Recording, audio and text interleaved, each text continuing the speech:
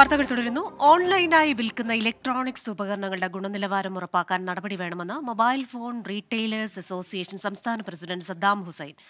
Palakkad Kalladikode mic പൊട്ടിത്തെറിച്ച് ആറ് വയസ്സുകാരിക്ക് പരിക്കേറ്റ സംഭവത്തിലാണ് പ്രതികരണം.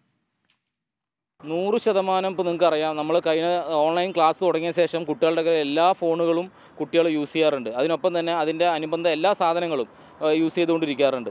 അതുകൊണ്ട് അത് വളരെ ഈ ഓൺലൈനിൽ കാണുന്നു ഒരു വില ഓഫർ ഉണ്ട് എന്ന് പറഞ്ഞുകൊണ്ട് മേടിച്ചു കൊടുക്കുമ്പോൾ അതിന്റെ സാധ്യതകളും അതിന്റെ മോശമായിട്ടുള്ള ഇലക്ട്രോണിക്സ് ആണല്ലോ മോശമായിട്ടുള്ള കാര്യങ്ങളും പരിശോധിച്ചിട്ട് വേണം രക്ഷിതാക്കൾ മേടിച്ചു കൊടുക്കാനുള്ള ഒരു അഭ്യർത്ഥനയും കൂടി ഞങ്ങൾക്ക് നടത്താനുണ്ട്. ഇന്നൊരു സൗണ്ട് ബോക്സാണ് പൊട്ടിത്തെറിച്ചിട്ടുള്ളത്. ശരിക്കും പിഞ്ചു കുട്ടിക്ക് എന്തെങ്കിലും സംഭവിച്ചിട്ടുണ്ടെങ്കിൽ ഇത് ഈ രീതി നിന്നിട്ടുണ്ടാവില്ല. അത് പരിശോധിക്കണം സർക്കാർ തലങ്ങളിൽ അതിന് അന്വേഷണം വേണം എന്നുള്ളതാണ് ഞങ്ങൾക്ക് പറയാനുള്ളത്.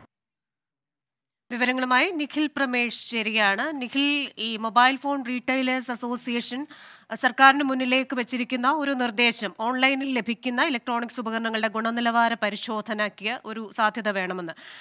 ഇത് എത്രത്തോളം പ്രായോഗികമാണ് സർക്കാർ ഏത് തരത്തിലായിരിക്കും ഈ ആവശ്യത്തോട് പ്രതികരിക്കുക എന്നറിയില്ല. എന്താണ് ഇവരുടെ ആവശ്യം? ഇത് ഏതൊക്കെ സമിതികളുടെ മുന്നിലേക്കാണ് വെച്ചിരിക്കുന്നത്? കൃഷ്ണ സൂചിപ്പിച്ചതുപോലെ തന്നെ ഇക്കാര്യത്തിൽ ഇത് പ്രായോഗികമാണോ എന്ന് സർക്കാർ തന്നെയാണ് അറിയിക്കേണ്ടത് പറയേണ്ടത്. പക്ഷേ ഇതൊരു അനിവാര്യമായിട്ടുള്ള കാര്യമാണ്. നമുക്കറിയും പോലെ തന്നെ ഇത്തരത്തിൽ ഓൺലൈനിൽ വില കുറഞ്ഞ പല സാധനങ്ങളും ചൈനീസ് വസ്തുക്കളടക്കം സുലഭമായി ലഭ്യമാണ്. പല വിലയിൽ പല ഗുണനിലവാരത്തിലൊക്കെ ലഭ്യമാണ്.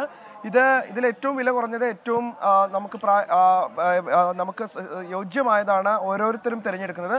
ഇതിന്റെ ഗുണനിലവാരത്തെക്കുറിച്ച് പലപ്പോഴും അപ്പോൾ ആളുകൾ കൺസേൺഡ് അല്ല എന്നുള്ളത് വളരെ പ്രധാനപ്പെട്ട ഒരു കാര്യമാണ്.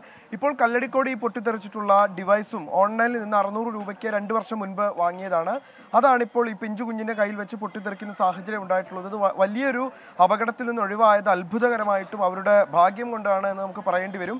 ഈ വിഷയത്തിലാണ് ഇപ്പോൾ പ്രതികരണവുമായിട്ട് മൊബൈൽ ഫോൺ റീറ്റെയിലേഴ്സ് അസോസിയേഷൻ രംഗത്തെത്തുന്നത് അവർ പറയുന്നത് ഓൺലൈനിൽ നിന്ന് ഇത്തരത്തിൽ ചൈനീസ് ഉപകരണങ്ങളടക്കം ഗുണനിലവാരമില്ലാത്ത ഉപകരണങ്ങളടക്കം ആളുകൾക്ക് വിൽക്കുന്നത് തടയാൻ സർക്കാരിന്റെ സർക്കാരിന്റെ ഒരു ഇടപെടൽ വേണം എന്നുള്ളതാണ്. അത് അതോടൊപ്പം തന്നെ ഈ ഓൺലൈൻ വിപണി എന്ന് പറയുമ്പോൾ നമുക്ക് ഇത് വാങ്ങിക്കഴിഞ്ഞാൽ അതിന്റെ പോരായ്മകൾ ഉണ്ടായാൽ അല്ലെങ്കിൽ ഇത്തരത്തിലുള്ള പ്രശ്നങ്ങൾ ഉണ്ടാകുമ്പോൾ അതിൽ പരാതിപ്പെടാൻ കൃത്യമായിട്ടുള്ള ഒരു- സ്ഥലമില്ല. അതുകൊണ്ട് തന്നെ അക്കാര്യങ്ങളിലെല്ലാം തന്നെ സർക്കാരിന്റെ സർക്കാരിന്റെ ഒരു ഇടപെടൽ വേണം നൽകുകയായിരുന്നു നിഖിൽ പ്രമേഷ്.